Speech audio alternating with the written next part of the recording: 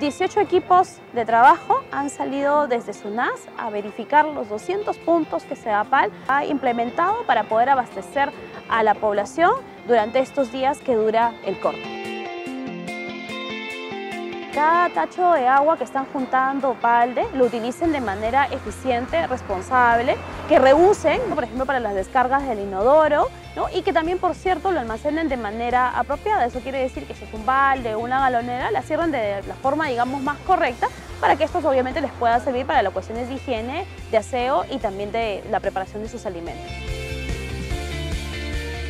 Es justamente el prestador que ha implementado todos estos puntos de abastecimiento y es el responsable de brindar el servicio y asegurar este abastecimiento alternativo. Pero también nos puede llamar a nosotros al 614-3180, 614-3181 y avisarnos si es que en el punto que está la información, ¿no es cierto?, en la página web no está, o en todo caso para poder tener información de eh, en qué momento regresaría el camión sistema.